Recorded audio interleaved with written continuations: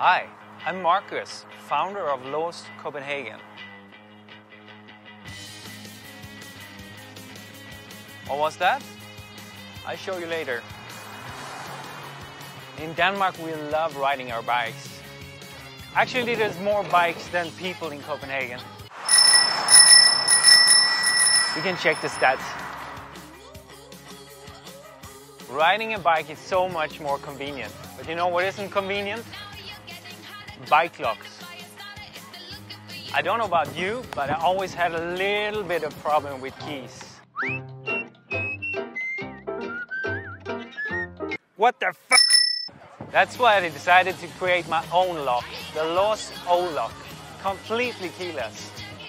Just open your phone and unlock within seconds through the app.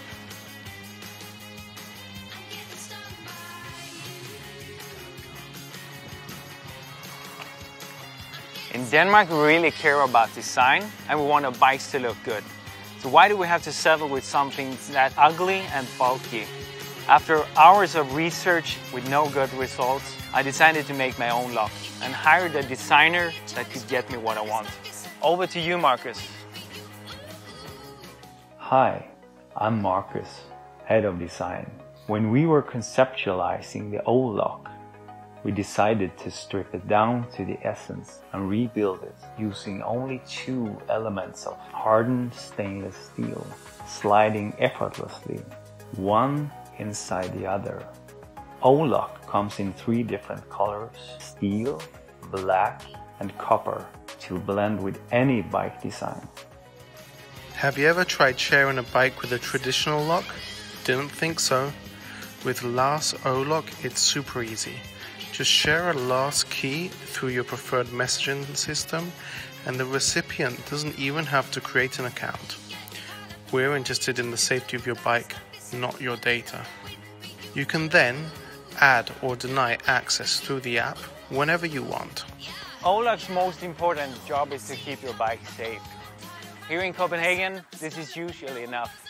But if you want to feel extra safe, you can add a Lås chain to fix your bike to a post.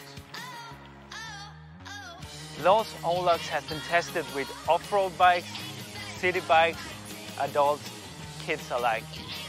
And the feedback has been fantastic.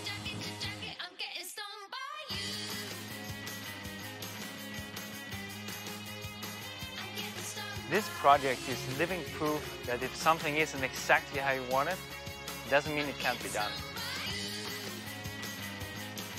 And thanks to your support, we'll finally be able to expand the team and bring this product to life. How was that? Perfect.